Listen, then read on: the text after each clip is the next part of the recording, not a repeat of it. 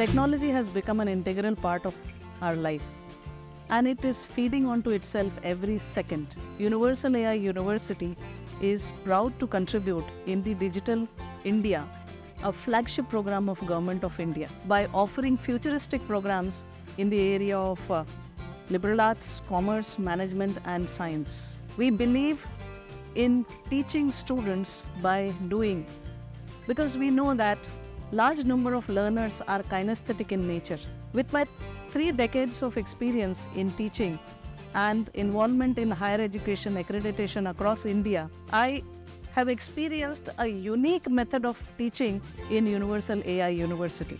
Universal AI University believes in teaching ped- pedagogy, learning pedagogy using experiential learning.